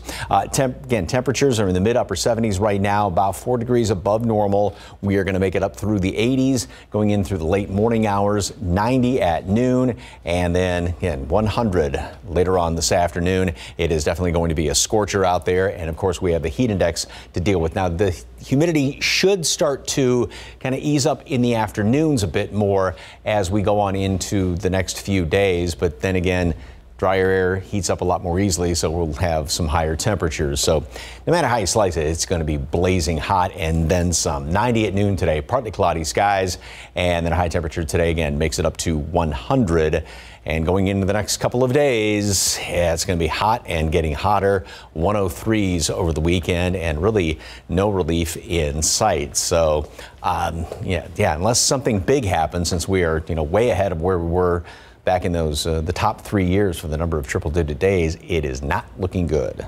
Oh boy, I tell you, so people are earning their, their dollars these days, especially people that have to go up in like attics and fix up fix uh, AC systems. Yeah, it's very in the hot. heat of the day. Oh my goodness. Yeah, see, and you had mentioned this earlier. To you know, people that, that have construction jobs outside, Yeah. outdoor work, it just it's like roofers and pavers and bless you. Whew, I tell you, folks. God bless you. 622, 77 degrees. And TikTok reportedly making some changes after one of its features fails to gain popularity. We're going to explain right after the break. My A1C stayed here. It needed to be here. Ruby's A1C is down with Rybelsus. My A1C wasn't at goal. Now I'm down with Rybelsus. Mom's A1C is down with Rybelsus. with a clinical study, once daily Rybelsus significantly lowered A1C better than a leading branded pill. Rybelsus isn't for people with type 1 diabetes. Don't take Rybelsus if you or your family ever had medullary thyroid cancer or have multiple endocrine neoplasia syndrome type 2 or if allergic to it. Stop Rybelsus and get medical help right away if you get a lump or swelling in your neck, severe stomach pain, or an allergic reaction. Serious side effects may include pancreatitis. Tell your provider about vision problems or changes. Taking Rybelsus with a sulfonylurea or insulin increases low blood sugar risk. Side effects like nausea, vomiting, and diarrhea may lead to dehydration, which may worsen kidney problems. Need to get your A1C down? Ask your healthcare provider about Rybelsus today. TikTok reportedly scaling back plans to expand its live shopping feature to the United States. Financial Times says TikTok's efforts to get users to buy via live streams has not caught on in test markets over in Europe, but the idea is popular in several Asian countries. The personal information of 1 billion Chinese citizens is now reportedly in the hands of a hacking group. The group claims to have obtained the information from a police database. All of it is being offered for sale for about $200,000. It's a strange milestone over at Netflix. Stranger Things has passed the 1 billion hour mark in worldwide viewing. It's the first English language series on Netflix to reach the milestone, sitting right behind the Korean hit Squid Games. But Stranger Things still has about three weeks to pass Squid Games. Think it'll get there. It will get there as we await Squid Games 2. Oh, wow. Mhm. Time now, 626 and 77 degrees for now. Much more to come on GMSA, including the latest on musician Carlos Santana, who suffered a medical emergency on stage last night during a performance in Michigan. And we're going to tell you about a pair of incidents that are being blamed for on fireworks mishaps. Good morning, I'm Jonathan Cotto. Senator Roland Gutierrez requesting that a certain agency oversee the funds and additional services being offered to the victims in Uvalde. Coming up on GMSA, we'll talk to you more about that. I'm ABC's. Nguyen in Washington. We're learning more about the suspect in the Highland Park, Illinois mass shooting from July 4th. What police are saying about the disturbing warning signs leading up to that rampage. Coming up. And is your home ready for summer grilling? We're going to have some tips for you to help make your backyard the best on the block. And not into grilling. We're all broiling right now. It's in the afternoons around here, but right now it's actually fairly pleasant. Definitely a smart play to do things early in the day. Good morning, everybody. We made it to Wednesday, the 6th of July. And thanks for joining us. Yes, getting things done early, good advice. I mean, because we are on fire. I mean, if Mike could, he would probably mow his lawn at like 5 a.m. Right? But that's not nice to the neighbors. No. yeah, you know, I tried that getting up early before uh, coming into work one time, and the neighbors didn't. Yeah, not at all. Yeah. So, uh, Plus your wife. If if indeed you have a, a lawn to mow, I mean, because we haven't had any rain around here unless you've been watering, and a lot of yards are just you know parched right now, like everything else. Uh, we've got our morning clouds. Sun is trying to squeeze through in some spots there, and yeah, it's really darn humid this morning, and that's the usual kind of cycle that we go through each and every day with the uh, dew point measure moisture in the atmosphere back up to the uh, low 70s. But the problem has been that it hasn't been dropping down as much as we'd like to see in the afternoons. We've been staying with these numbers like mid mid to uh, lower 60s, which that adds to the heat index in the afternoon. That's been adding kind of salt to the wound, if you will. 80, speaking of heat index, is what it feels like at the airport right now. 82 Castroville and 80 up the road in Canyon Lake. Mold is on the moderate side. The updated count will be coming out in probably about an hour or so. And throughout the rest of today, we, of course, are going to be seeing temperatures that will add basically 20 or more to where we are right now. Warm and humid start this morning and still enough humidity out there to get those heat index readings going. So you can't really get even that comfortable in the shade when you have some of that humidity left over. It is going to be hotter through the weekend. High temperatures will be going up. We should see lower humidity though in the afternoon. So get a little bit of uh, good news in this forecast. And then even going into next week, a good chunk of next week is still going to be on the hot side. We're going to continue to rack up triple digit temperatures. Details in just a couple of minutes. Traffic Authority been pretty quiet yeah. on the roads this morning. A relief on the roads. Mike, uh, let's get a look at TransGuide. 1604 Pat Booker over on the northeast side. Not really looking too bad over there. 1604 at Spurs Ranch. You can see just a few folks in that area of town, but really haven't seen a whole lot out there these last few mornings. It's been a holiday. It was a holiday on Monday, but as more people are getting back to their daily commute, we really, again, just want to encourage you to take it easy out there. We like mornings like this. We wish we could see more of it. We did have an incident off of 1604 over on the northwest side, side of San Antonio, but that quickly cleared out. And all we are seeing is just a lot of green, a lot of pavement, and a lot of those active construction spots. And as the morning continues, we will continue to give you those updates. But thankfully, right now, the update is good. Right now is a perfect time to head out the door. You can see the loops are looking perfectly fine. 35 I-10, no delays just yet, but we are getting closer to morning rush hour. And with more people back on the roadways, we can expect to see some slowdowns. So give yourself time and make sure you are kind out on the roadways. Let's get a look at TransGuide one last time. 35 at San Marcos. It is getting a little busier, but we will get you through it and have more updates right here on GMSA. Steph? Thank you, Stephen. Some outdoor cooking may be what has left a family on the streets this morning. They believe a barbecue grill sparked the fire that has destroyed their home in far west Bexar County. Katrina Weber live at the 900 block of Stable Glen near 410 and Potranco. Any other homes damaged, Katrina? I finally was able to speak with firefighters, and they told me that no other homes were damaged. But for a while, they were very concerned because the fire here was raging out of control. It looks like they finally have those flames out now, but for a while, they were tearing right through the roof. We have some video to show you. This fire broke out around 4:30 this morning here in the 900 block of Stable Glen. The flames were already coming through the top of that house when firefighters got here themselves. Now, I did track down the family who lives in that home. They say there were five people in the home, three children, two adults. They all got out safely. They believe that this fire was started by a barbecue grill that they had been using in the backyard. And firefighters do confirm that it looks like the fire started on the back side of the house, started outside the house. So uh, that is going to be an area that they focus on once they start their investigation. But of course, right now they're just trying to make sure that this fire is out. Now, we have heard some talk that there may have been some pets in the home as well, and uh, we don't know the status of those, but we do know that everyone who was in that home is out and safe. Uh, some neighbors also got out of their homes because, again, there was a concern that the fire would spread. They uh, probably will be able to go back home shortly, at least once firefighters clear out. Reporting live in West Far West Bexar County, Katrina Weber, KSAT 12 News. Thank you, Katrina. New this morning, State Senator Roland Gutierrez and Uvalde's mayor says victims are not getting compensation they need fast enough. This is from the Uvalde Together Resiliency Center. Our Jonathan Cotto joins us live with the details. And good morning, Jonathan. What do you know right now?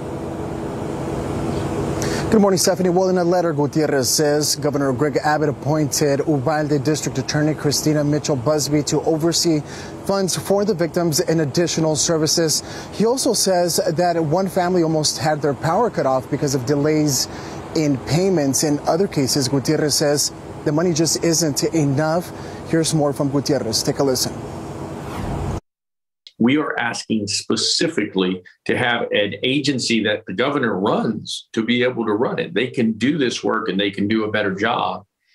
I think that we have to look at how we're managing this crisis and understand that what we do immediately in the in the heat of things isn't always the best solution. Gutierrez wants the Texas Department of Emergency Management to be placed in charge of the services and funding. Both he and Uvalde's mayor is calling on the governor to make this happen. Reporting live, Jonathan Cotto, KSAT 12 News. Thank you very much, Jonathan. Country music star Kevin Fowler made a special visit to one of the Uvalde shooting victims. Maya Zamora is recovering at University Hospital. Staff there reaching out to Fowler after learning she's a huge fan Zamora family was supposed to see him in concert this weekend, but because of her injuries, they are not able to go. He talked about the experience on social media, saying she was braver than he could ever be.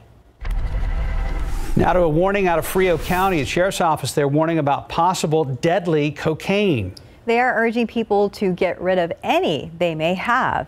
Now, they are reporting about a batch of cocaine that is more dangerous than normal and may even be leading to some deaths. On their Facebook page, say it is being sold and consumed.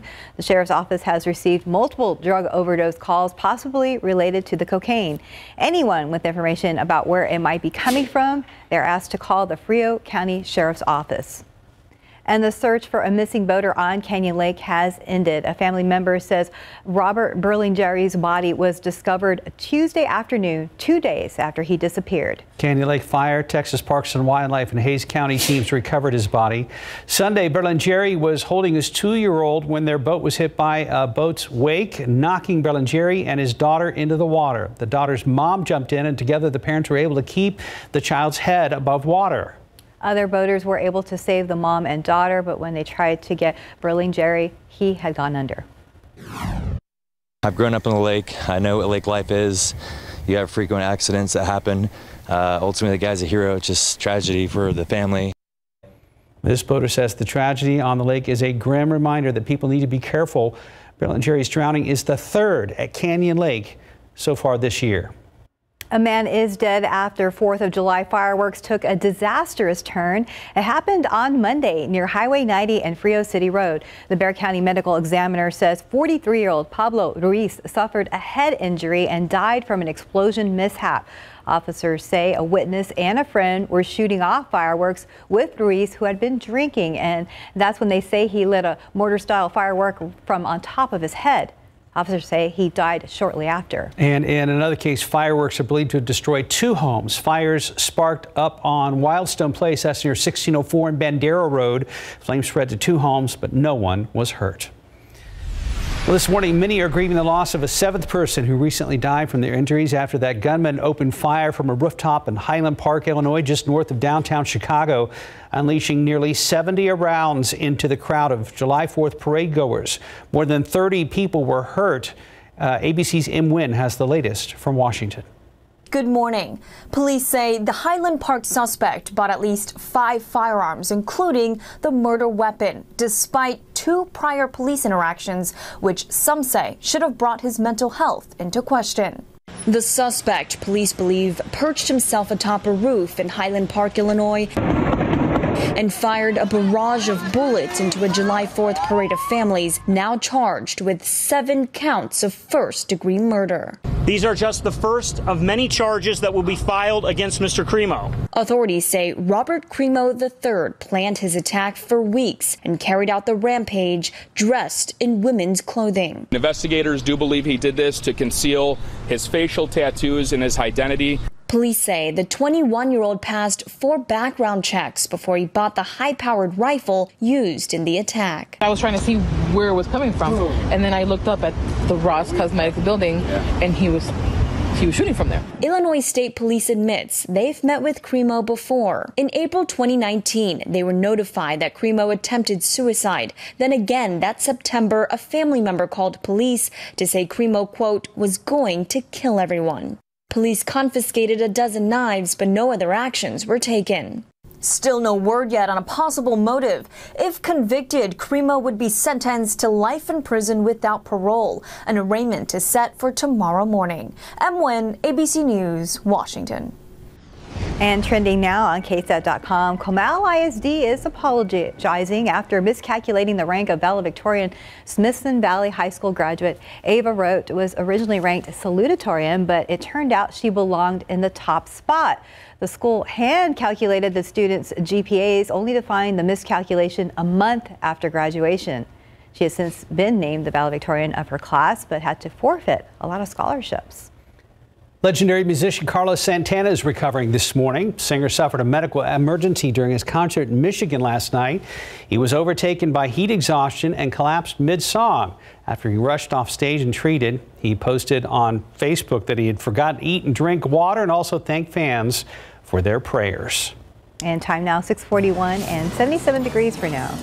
Still ahead on GMSA, summertime means grilling. And after the break, we'll show you how to make sure your home and yard are ready for barbecue parties. 645, summer is now in full swing. That means lots of people are grilling and hosting barbecues. In this morning's Ask Angie segment, we are talking about how to prepare your yard for barbecue season. At a backyard barbecue, the grill is the star of the show. So if you've got a new one, consider bringing in a handyman to make sure that it's set up properly so that you're ready for that special occasion. Also, get all those supplies you need on hand the tongs, the meat thermometer, the propane tank. And finally, if you have an outdoor kitchen, think about any last minute quick touch ups that you can do. So, might be things like installing a fan. Uh, even the smallest changes can make a huge difference when entertaining outside. Think uh, of things that your guests may need during a barbecue and prepare for them ahead of time. More convenient things are for your guests, the better.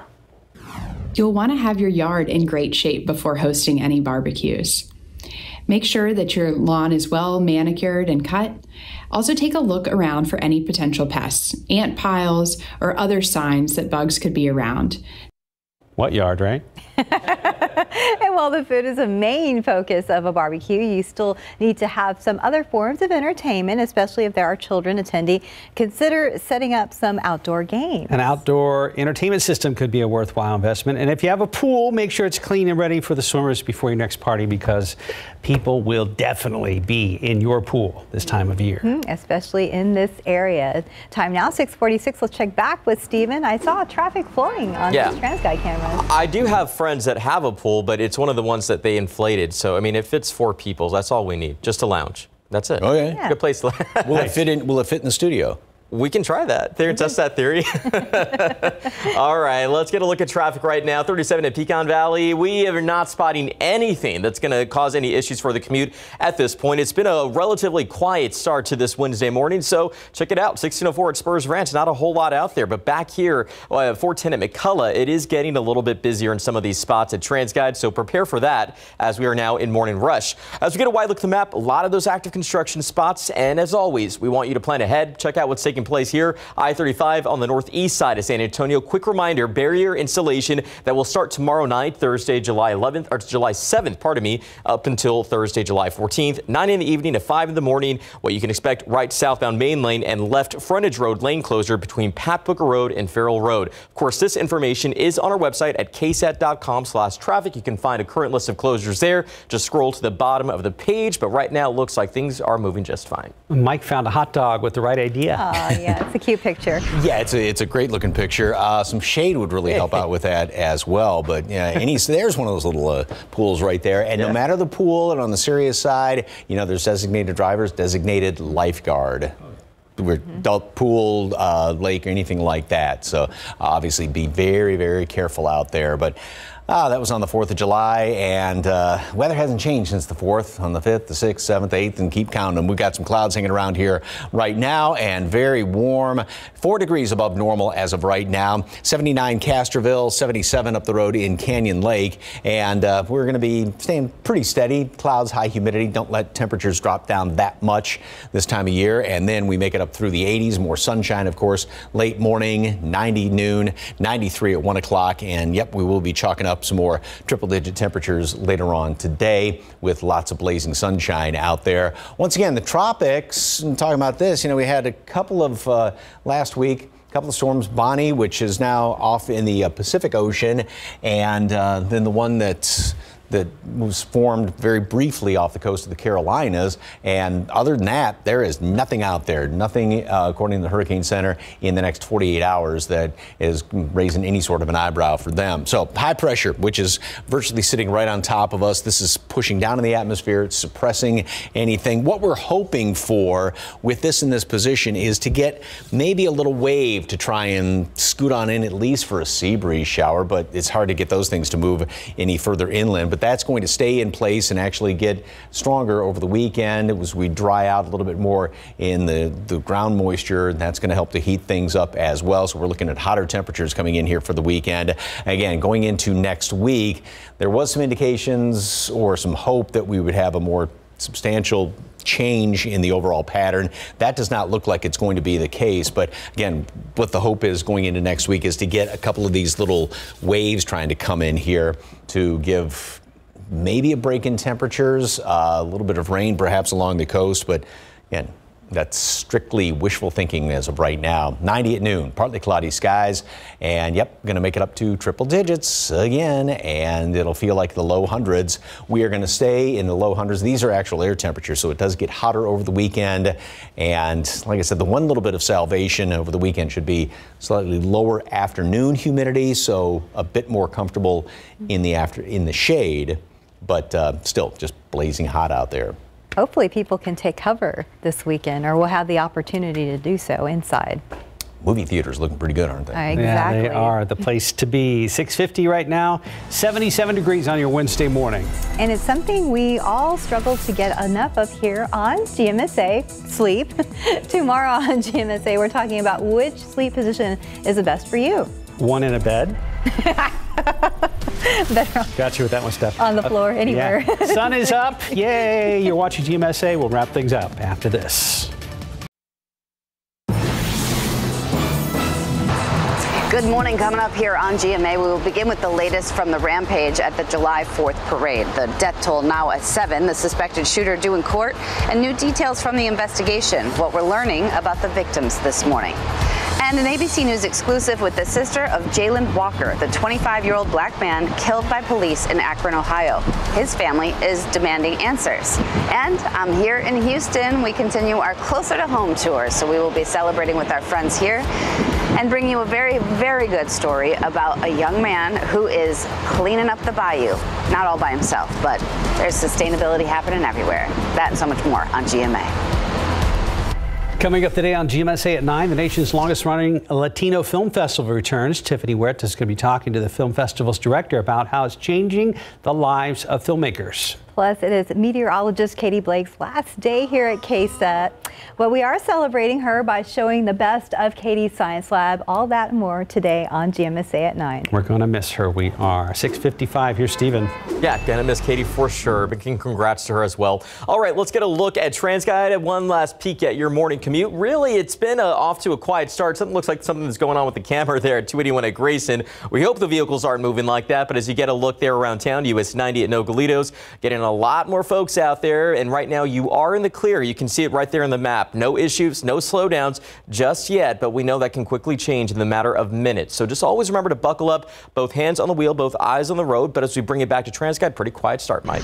Yeah, lots of clouds hanging around here. It very warm, 78 degrees right now, and we are going to chalk up another triple digit day today and continue on through the rest of the week. And uh, yes, one of the nicest people you will ever meet, Katie Blake, and um, Oh, we got a happy. That's not Katie. I'll tell you. that is Carlo. Your nice timing person. is impeccable, Mike. I, I didn't know this happy was birthday, happy, happy birthday to our 6 a.m. producer, Carlo Jaggi. We appreciate you, buddy. Yes, thank you for celebrating your birthday on.